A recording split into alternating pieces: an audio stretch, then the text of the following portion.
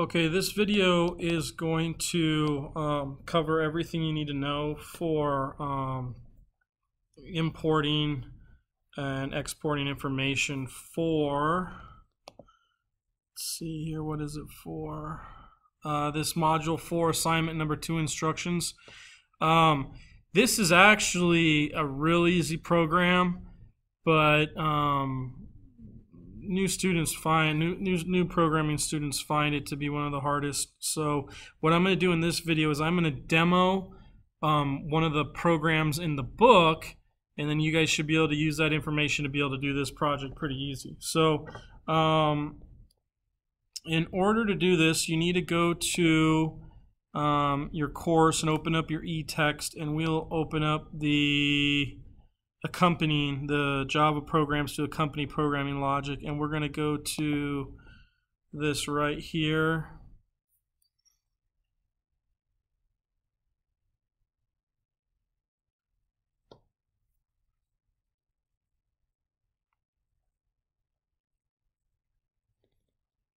I actually have it open in another one, but I'm going to just walk through this thing step by step with you guys. So this chapter is chapter 7, I believe.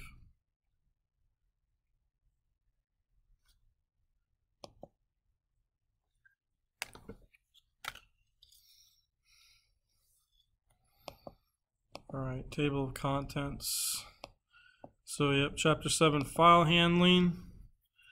And we'll just go in here.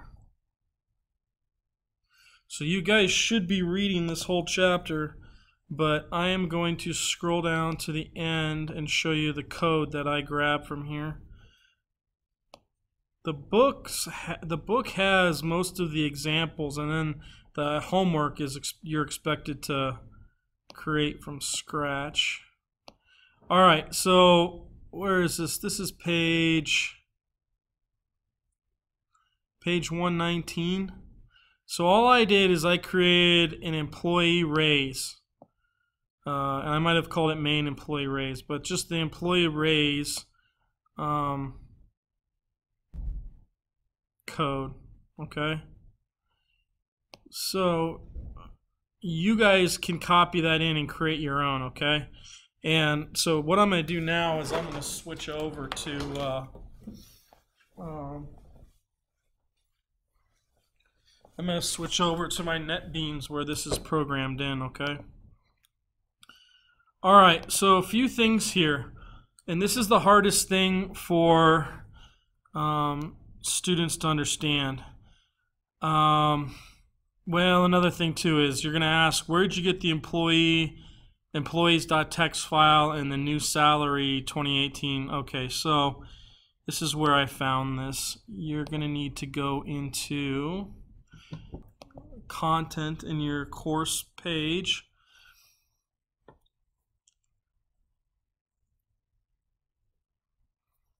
And you go down to data files.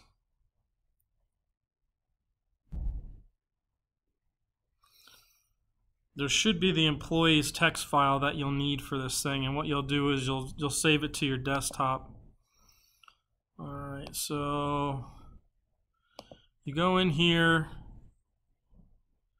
All right, it's a zip file. You download it. I already downloaded mine, so I'm going to just open mine up. You open it up, go into data. It's chapter 7. And there's your employee raise.java file.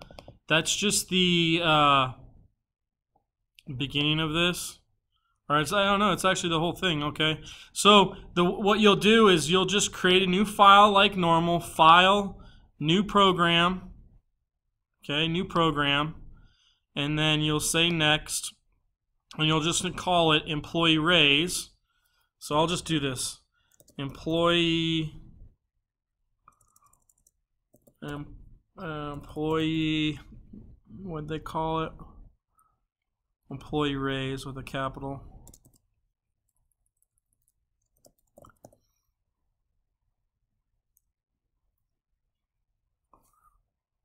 Okay, so there it created for you.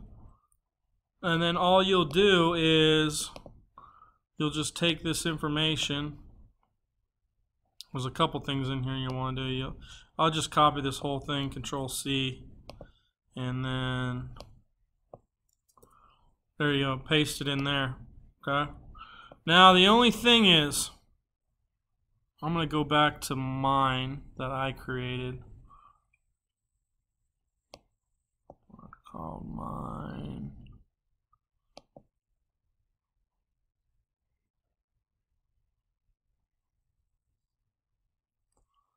Call mine main employee raise. Yeah, here we go. This is mine, all right. So this file is just going to be a blank text file. Okay, so um, if it's not, see, I was just testing mine, so I can just do that. So it's just a blank text file. Save. There's nothing in it. Okay. Um, then what you'll do is you'll get your employee text file and you'll save that to your desktop. Okay. So if you look at my desktop, I should have the employee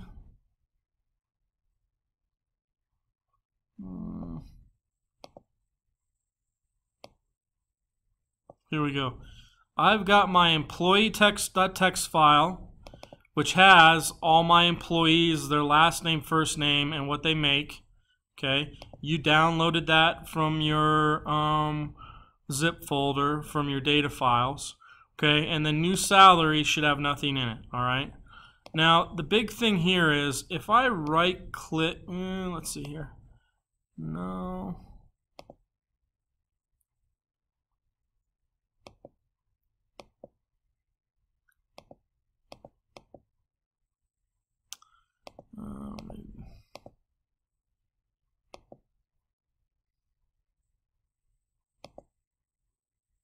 Let me see something if that's going to do it real quick. No.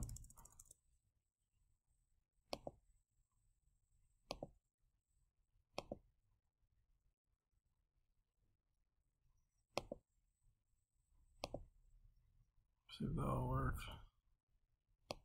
Yeah, okay, cool.